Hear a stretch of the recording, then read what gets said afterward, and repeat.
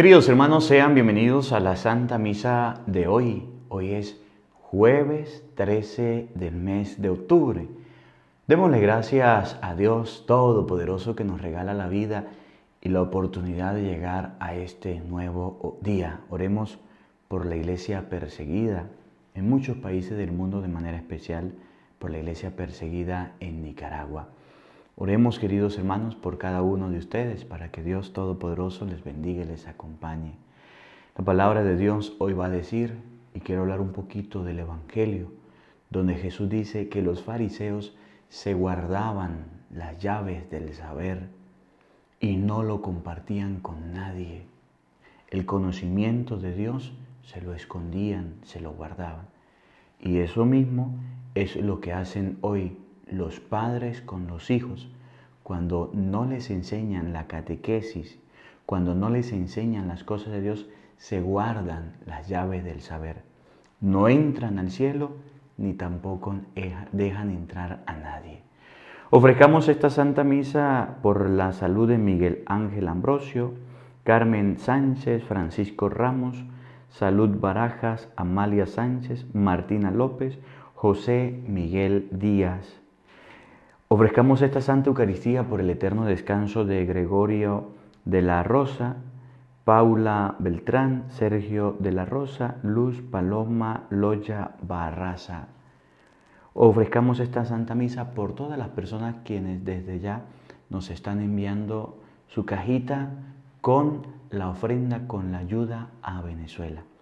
Gracias a todos los que ya están enviando su cajita los que ya la hicieron, los que ya la prepararon, porque en diciembre vamos a repartirle ropita, comida, zapatos, juguetes a los niños y ya hay muchos que lo han enviado. Si usted quiere enviar su donación a Venezuela, su ayuda, su ofrenda, puede comunicarse con mi hermana Mariana al número más 58 424 769 6239 o 011 58 424 769 6239. Sean bienvenidos, queridos hermanos, a la Santa Misa de hoy con el Padre Marcos Galvis. Comienza tu día con Dios y te aseguro que estarás muy bien. Comienza tu día con Dios y te aseguro que estarás muy bien. Comienza tu día y te aseguro que estarás muy bien. Comienza tu día con Dios y te aseguro que estarás muy bien. El Señor es mi compañía,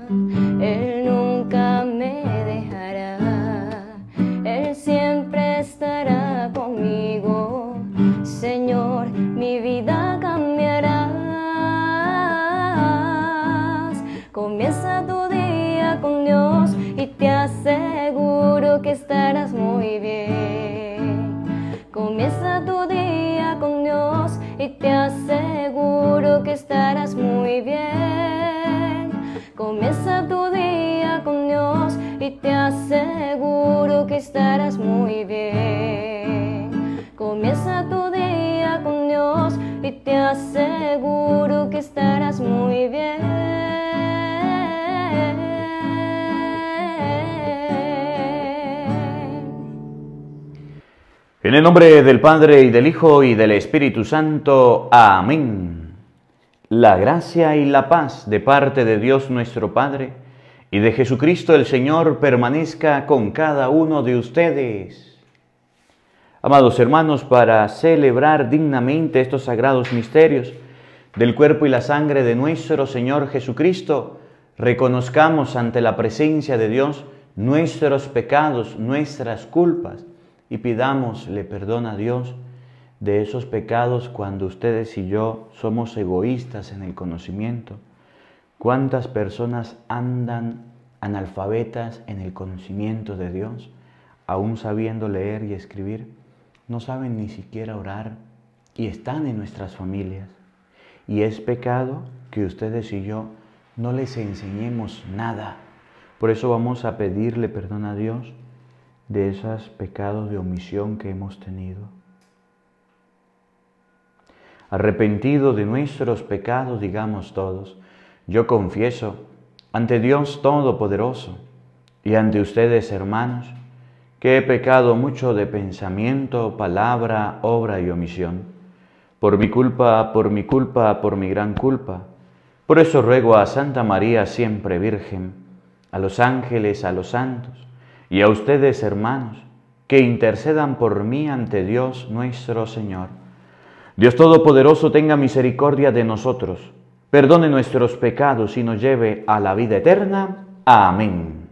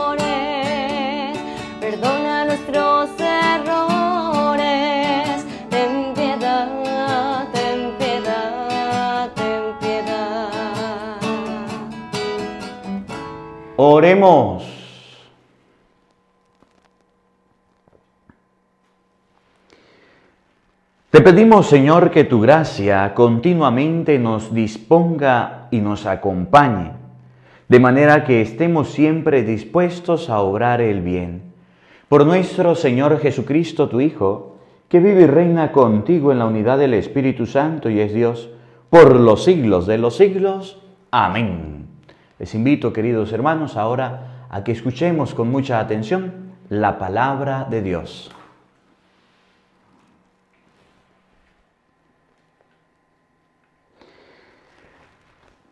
De la carta del apóstol San Pablo a los Efesios. Pablo, apóstol de Cristo, por designio de Dios, al pueblo santo, a los fieles cristianos que residen en Éfeso. Os deseo la gracia y la paz de Dios nuestro Padre y del Señor Jesucristo. Bendito sea Dios, Padre de nuestro Señor Jesucristo, que nos ha bendecido en la persona de Cristo con toda clase de bienes espirituales y celestiales él nos eligió en la persona de Cristo antes de crear el mundo, para que fuésemos santos e irreprochables ante Él por el amor. Él nos ha destinado en la persona de Cristo, por pura iniciativa suya, a ser sus hijos, para que la gloria de su gracia, que tan generosamente nos ha concedido en su querido Hijo, redunde en alabanza suya. Por este Hijo, por su sangre, hemos recibido la redención, el perdón de los pecados, el tesoro de su gracia, sabiduría y prudencia. Ha sido un derroche para nosotros, dándonos a conocer el misterio de su voluntad. Este es el plan que había proyectado realizar por Cristo cuando llegase el momento culminante. Recapitular en Cristo todas las cosas del cielo y de la tierra. Palabra de Dios, todos te alabamos, Señor. El Señor da a conocer su victoria. Todos el Señor da a conocer su victoria. Cantad al Señor un cántico nuevo, porque ha hecho maravillas. Su diestra le ha dado la victoria, su santo brazo. Todos. El Señor da a conocer su victoria. El Señor da a conocer su victoria, revela a las naciones su justicia. Se acordó de su misericordia y su fidelidad en favor de la casa de Israel. Todos. El Señor da a conocer su victoria. Los confines de la tierra han contemplado la victoria de nuestro Dios. Aclama al Señor tierra entera. Gritad, vitoread, tocad todos, el Señor da a conocer su victoria. Tocad la cítara para el Señor, suelen los instrumentos con clarines, y al son de trompetas aclamad al Rey y Señor. Todos, el Señor da a conocer su victoria.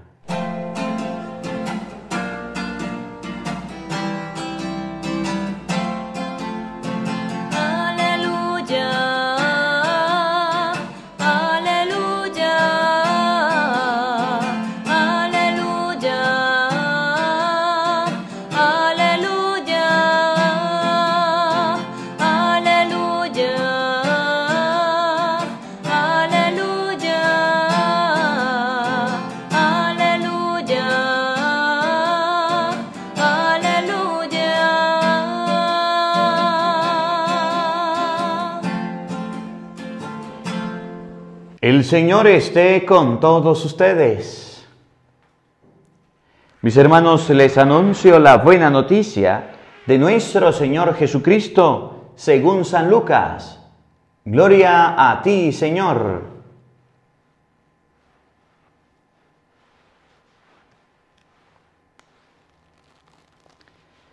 En aquel tiempo dijo el Señor, Ay de vosotros que edificáis mausoletos de los profetas después que vuestros padres los mataron.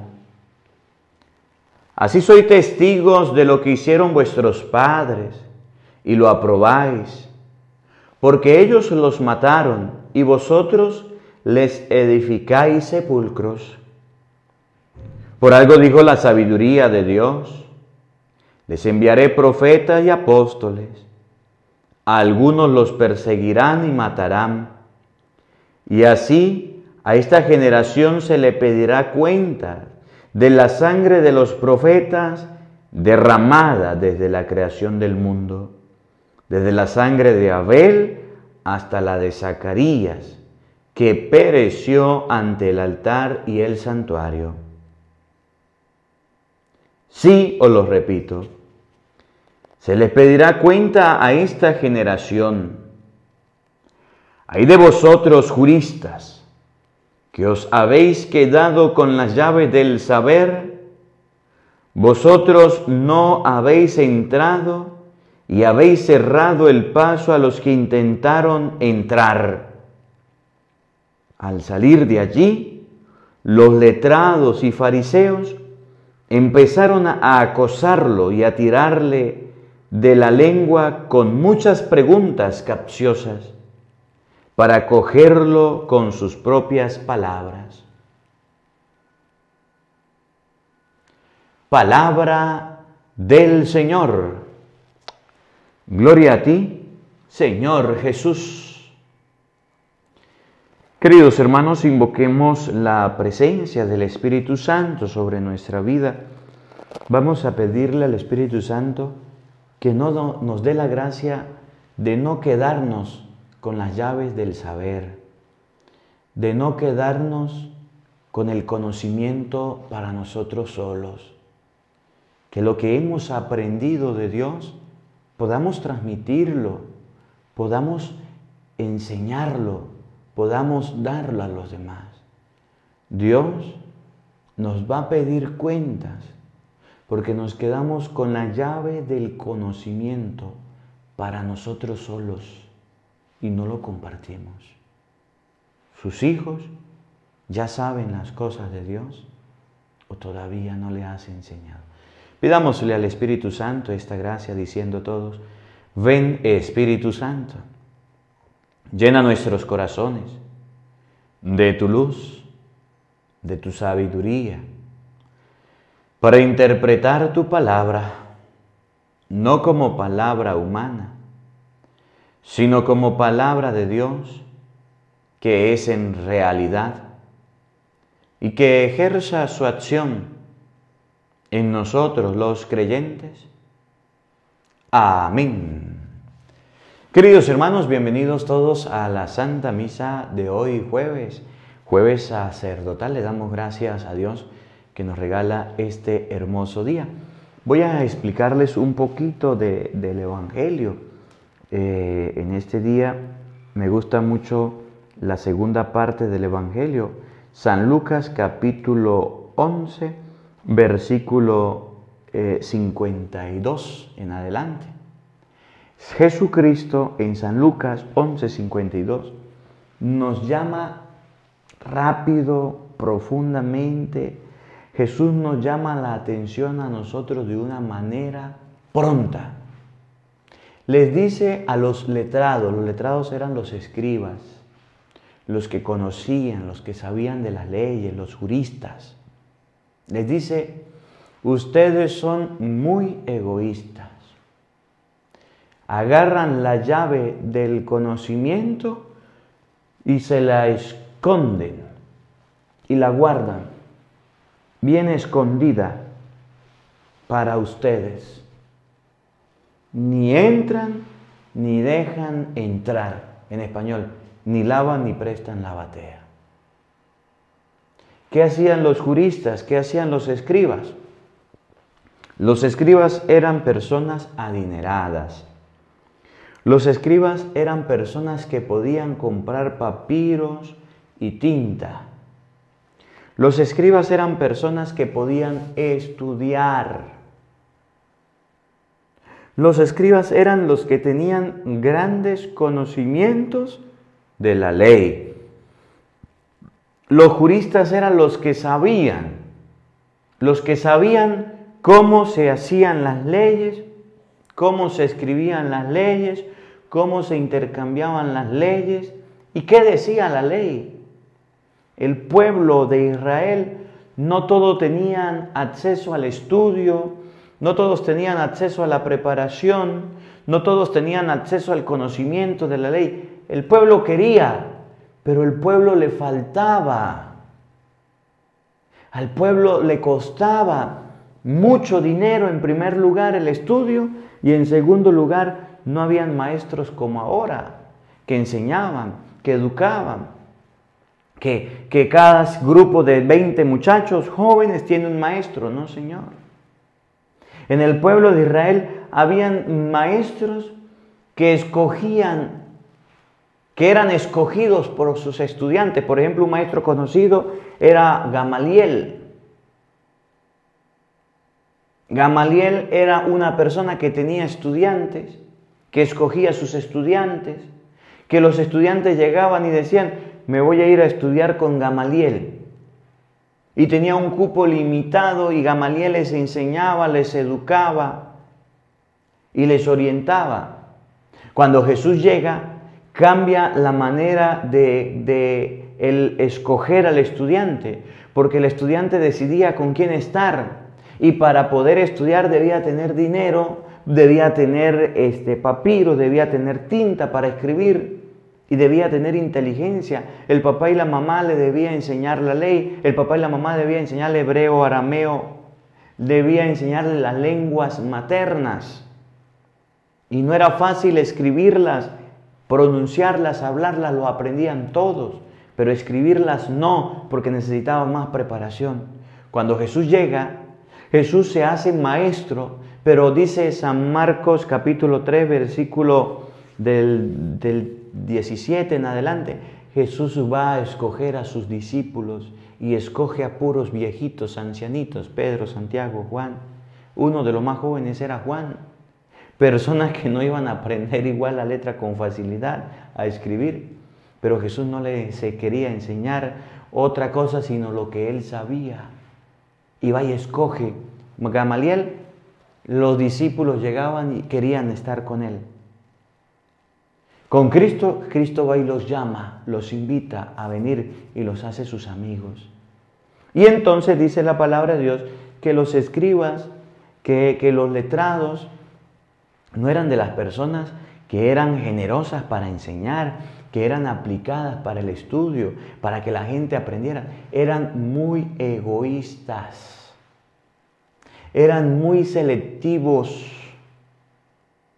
se lo tiraban de lo maximito, se lo tiraban de los mejorcitos porque tenían el conocimiento y tenían la sabiduría, campo y anchura que va pasando el sabiondo, pues, la preciosura. Por eso dice Jesús, les gusta ocupar los asientos de honor, que la gente los llame maestro. Oye, porque esas personas tenían el conocimiento y el conocimiento que tenían era caro, era costoso, porque para llegar hasta allá se quemaron las pestañas, decimos en Venezuela, estudiando, gastaron dinero, pero tenían algo en contra, que eran muy egoístas, que eran muy egoístas. No querían enseñarle a todos. Fíjense, Jesucristo un día llegó a tener cinco mil personas. Y a esas cinco mil personas les predicó el Evangelio, les predicó la palabra, les enseñaba del reino de los cielos, les hablaba en parábola. Jesucristo tenía doce apóstoles que eran el grupo de él, pero Santiago, Juan, suma y sigue. Pero un día que quería ir a salir, reunió a 72 personas. No era egoísta. Jesús hablaba con los galileos, hablaba con los judíos, hablaba con los hermanos de Cafarnaún, hablaba con la gente de Tiro, de Sidón, hablaba con todos y les explicaba a todos el reino de los cielos. Los letrados, los escribas, no, los juristas, no. Los juristas les explicaban la ley como les había costado, como les había salido cara a los hijos de las personas que tenían cómo pagarle. Era un negocio que tenían. El ser maestro para ellos era un negocio redondo. Estudiaban, gastaban, invertían y después de ellos adquirir el conocimiento, lo vendía. Usted me escogió a mí como mentor, como maestro. Me tienes que pagar, me tienes que dar algo. Y entonces los discípulos aprendían si tenían dinero. Si eran pobres y no tenían nada, no podían aprender. Jesucristo no.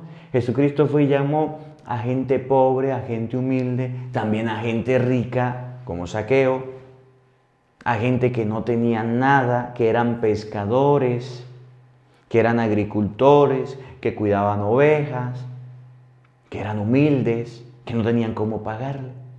Y entonces Jesús lanza una crítica en contra de estos escribas, de estos juristas, y les dice, San Lucas 11, 52, oigan, hay de ustedes, juristas, que os habéis quedado con las llaves del saber, vosotros que no habéis entrado ni habéis y habéis cerrado la puerta a los que van a entrar.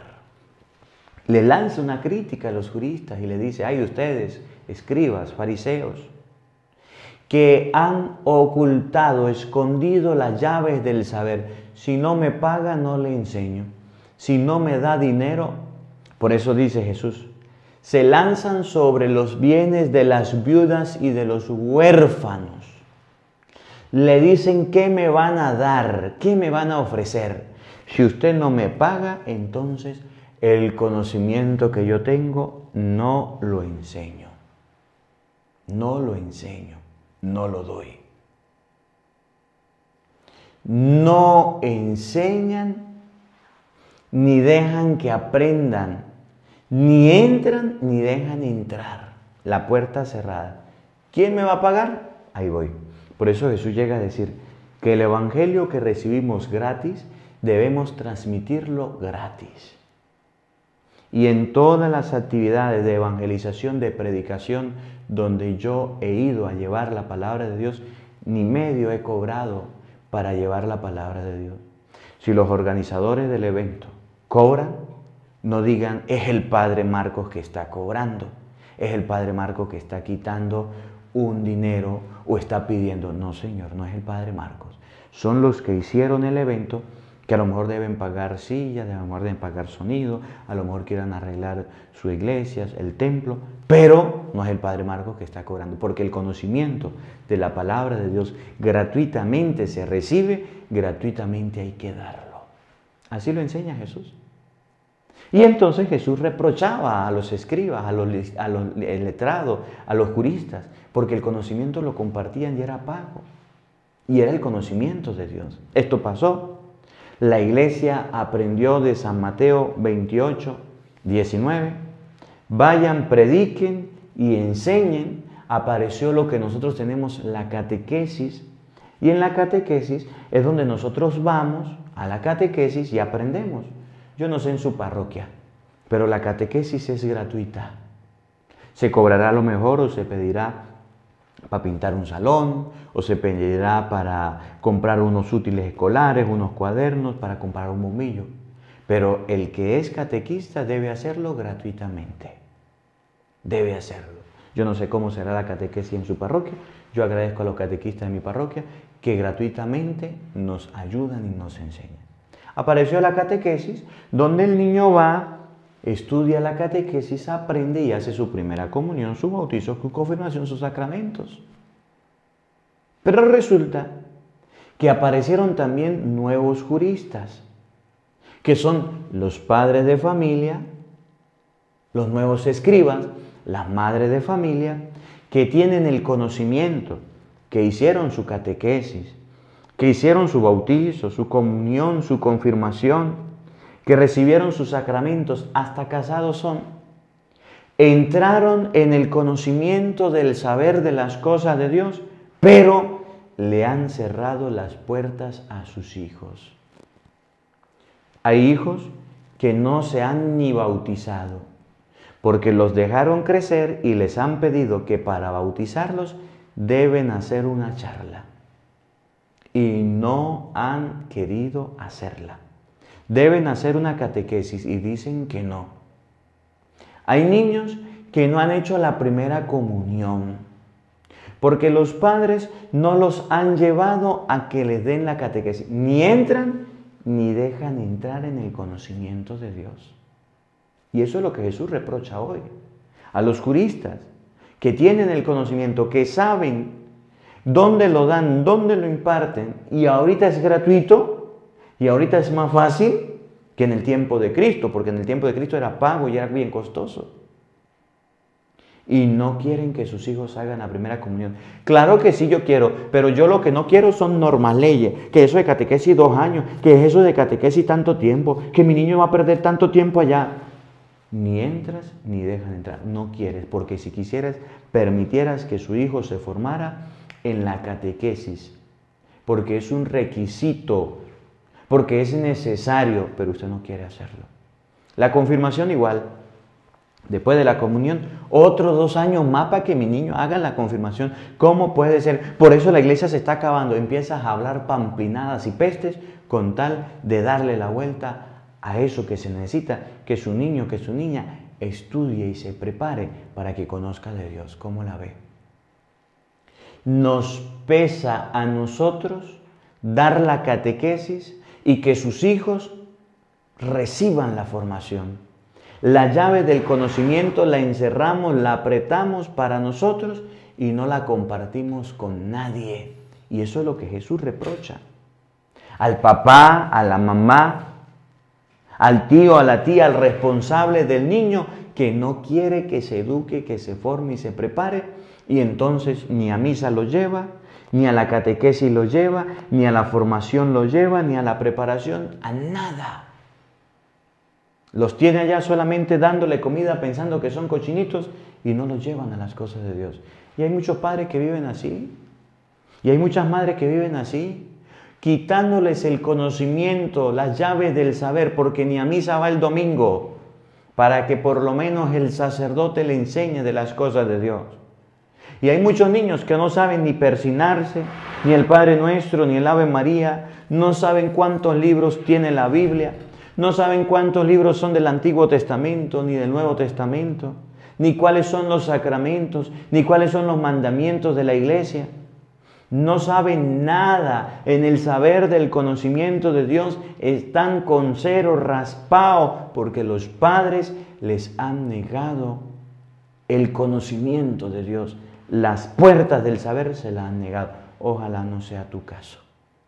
Ojalá usted no sea un padre de esos egoístas que le cierran a los niños las posibilidades para que ellos aprendan las cosas de Dios. Ojalá. Y si usted lo está haciendo, le vas a entregar cuentas caras a Dios. Que no caigas en este pecado de no enseñar al que no sabe, porque somos egoístas. Que la palabra de Dios habite en nuestros corazones. Amén.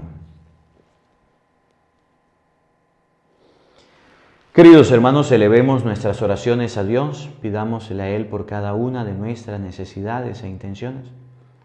Ante todo, pidámosle a Dios por la Iglesia Universal, por el Papa, los obispos y los sacerdotes, para que fieles al Evangelio prediquemos a Jesucristo, camino, verdad y vida, roguemos al Señor.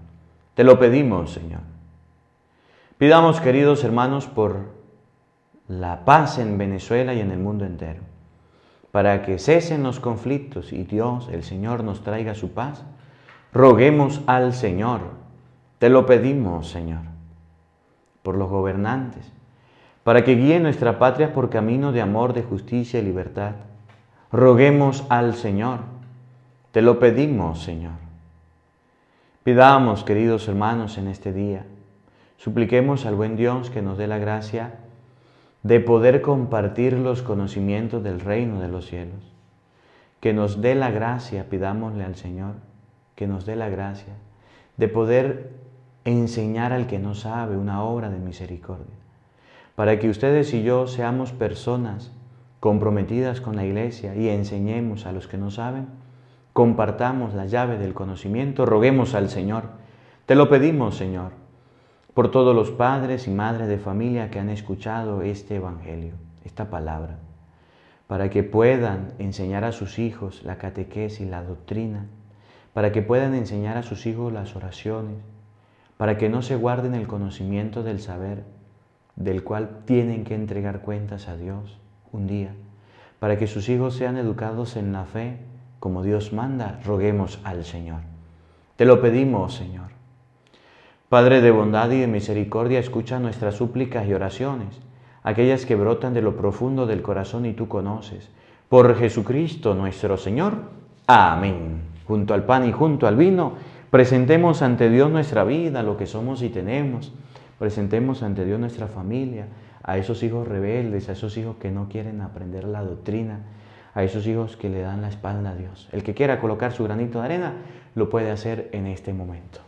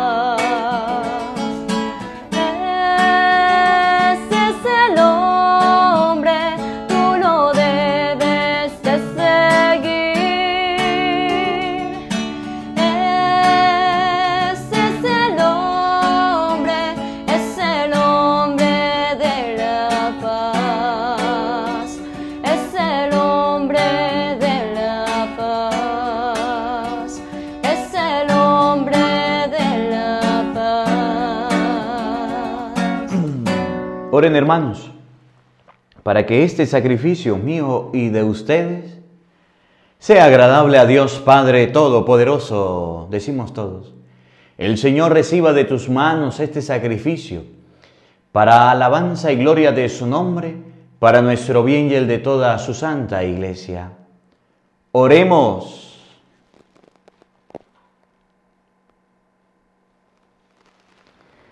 Recibe, Señor, la súplica de tus fieles, junto con las con estas ofrendas que te presentamos para que lo que celebramos con devoción nos lleve a alcanzar la gloria del cielo. Por Jesucristo nuestro Señor. Amén.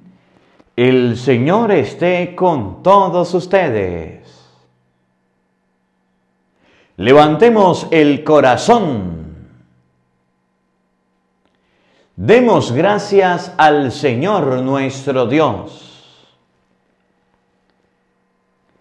En verdad es justo y necesario darte gracias y deber nuestro alabarte, Padre Santo, Dios Todopoderoso y Eterno. En todos los momentos y circunstancias de la vida, en la salud y en la enfermedad, en el sufrimiento y en el gozo, por tu siervo Jesús nuestro Redentor, porque Él en su vida terrena pasó haciendo el bien y curando a los oprimidos por el mal. También hoy, como buen samaritano, se acerca a todo hombre que sufre en su cuerpo o en su espíritu y cura sus heridas con el aceite del consuelo y el vino de la esperanza. Por este don de tu gracia, incluso cuando nos vemos sumergidos en la noche del dolor, vislumbramos la luz pascual de tu Hijo muerto y resucitado. Por eso, unidos a los ángeles y a los santos, cantamos a una sola voz el himno de tu gloria.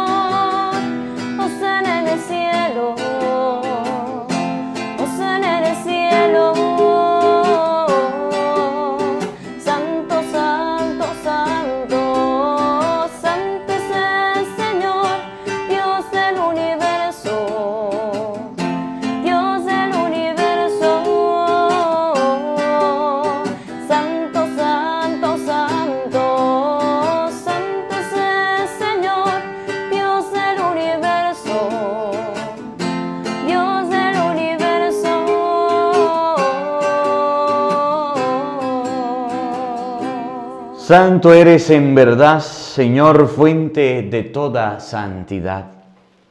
Por eso te pedimos que santifiques estos dones con la efusión de tu Espíritu, de manera que se conviertan para nosotros en el cuerpo y la sangre de Jesucristo nuestro Señor, el cual, cuando iba a ser entregado a su pasión voluntariamente aceptada, tomó pan, dándote gracias, lo partió y lo dio a sus discípulos, diciendo, tomen y coman todos de él, porque esto es mi cuerpo que será entregado por ustedes.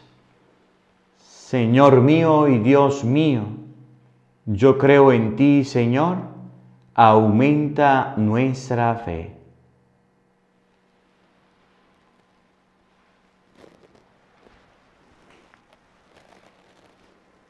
Del mismo modo, acabada la cena, tomó el cáliz y dándote gracias de nuevo, lo pasó a sus discípulos diciendo, Tomen y beban todos de él, porque este es el cáliz de mi sangre, sangre de la alianza nueva y eterna, que será derramada por ustedes y por muchos para el perdón de los pecados.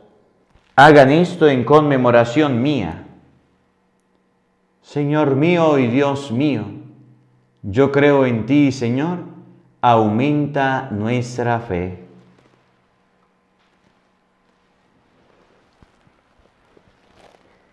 Hermanos, este es el sacramento de nuestra fe. Todos anunciamos tu muerte, proclamamos tu resurrección.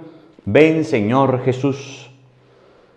Así pues, Padre, al celebrar ahora el memorial de la muerte y resurrección de tu Hijo, te ofrecemos el pan de vida y el cáliz de salvación y te damos gracias porque nos hace dignos de servirte en tu presencia. Te pedimos humildemente que el Espíritu Santo congregue en la unidad a cuantos participamos del cuerpo y sangre de Cristo.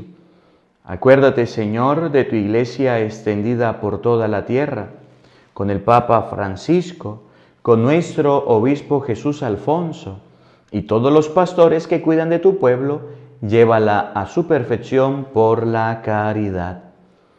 Acuérdate también de nuestros hermanos que se durmieron en la esperanza de la resurrección y de todos los que han muerto en tu misericordia, admítelos a contemplar la luz de tu rostro. Ten misericordia de todos nosotros. Y así con María la Virgen, Madre de Dios, su esposo San José, los apóstoles y cuanto vivieron en tu amistad a través de los tiempos, merezcamos por tu Hijo Jesucristo compartir la vida eterna y cantar tus alabanzas.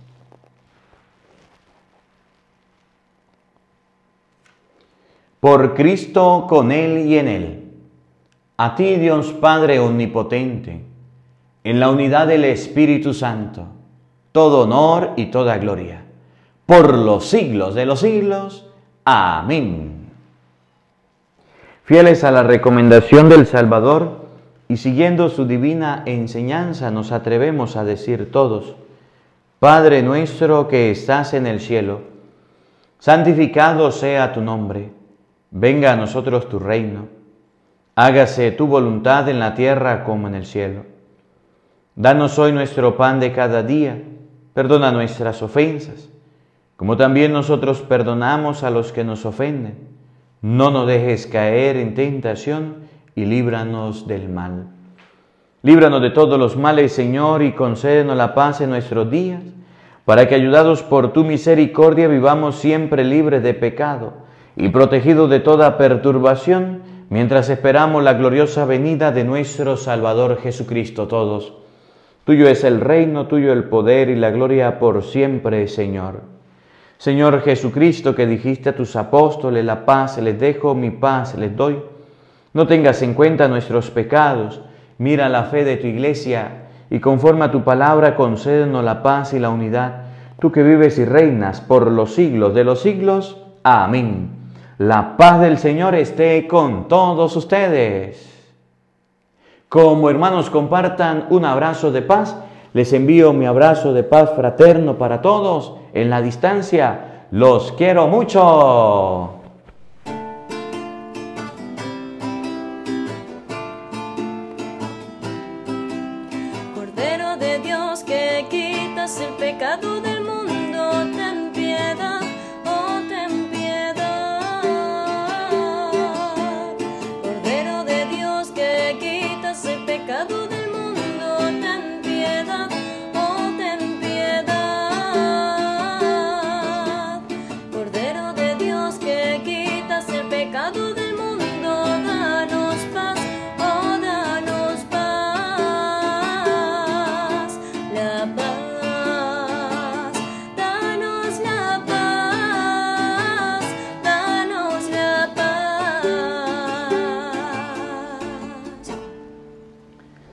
Queridos hermanos, he aquí el Cordero de Dios que quita el pecado del mundo.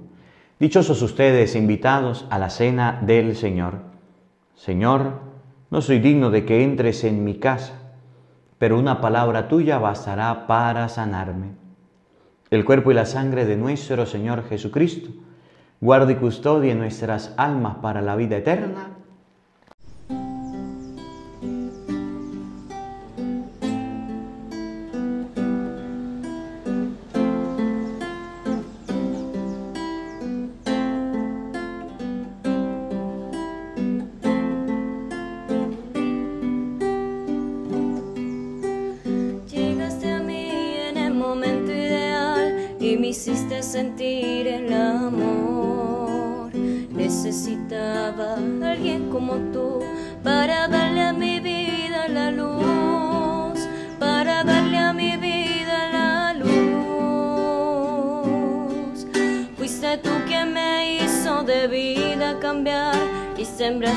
Mi corazón la pureza, la fe, la esperanza y el amor y por todo te alabo, Señor.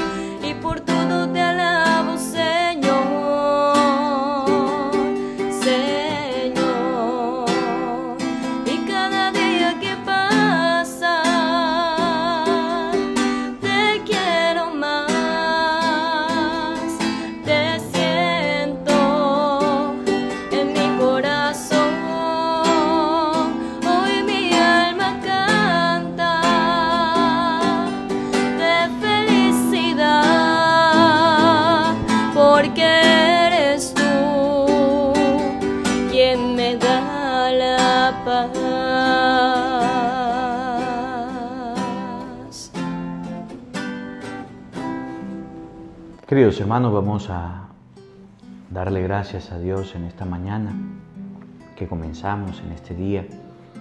Vamos a darle gracias a Dios Todopoderoso, que es nuestro Padre, que nos regala el aire, que nos regala la vida, que nos regala la salud, que nos regala la luz.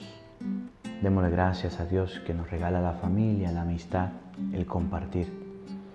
Démosle gracias a Dios que nos ha permitido trabajar, que nos regala una oportunidad para existir. Démosle gracias a Dios porque ha sido bueno con nosotros.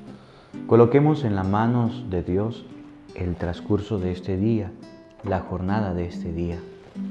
Pidámosle a Él que vaya delante de nosotros, quitando los obstáculos que no nos dejan crecer, quitando los pecados, dándonos la gracia de superar esas barreras que el mundo nos coloca, esas barreras que el pecado nos coloca. Que a pesar de que nos encontremos con el enemigo en este día, que ustedes y yo tengamos la fuerza de superar esos obstáculos, barreras y trampas que Él coloca. Coloquemos en las manos de Dios nuestro trabajo, nuestra jornada, nuestro día y digámosle al Señor que nos ayude y que nos socorra. Digámosle a Dios que estamos agradecidos por su amor, por su misericordia, que estamos agradecidos porque nos regala la vida, porque nos regala el existir y el compartir. Digámosle a Dios que estamos agradecidos porque nos regala la fe, porque nos regala el amor, porque nos regala la paciencia. Digamos todos, gracias Señor, gracias. Oremos.